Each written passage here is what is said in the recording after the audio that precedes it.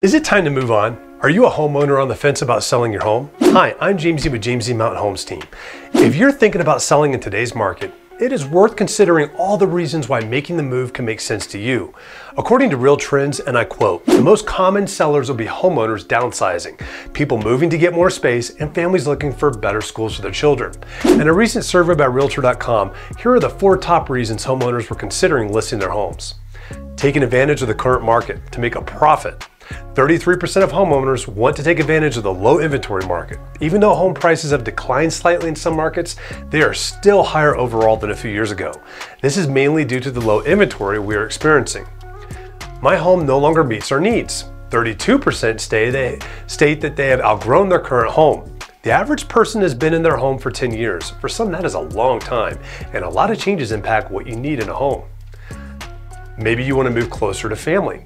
27% of homeowners want to live closer to their friends and family, and 25% want to downsize to a smaller home that has less maintenance and work.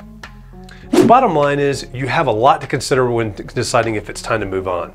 Contact my team and I so we can map out the perfect plan for you to find the perfect place to call home. This is James Dean, and remember, we are your local mountain real estate experts.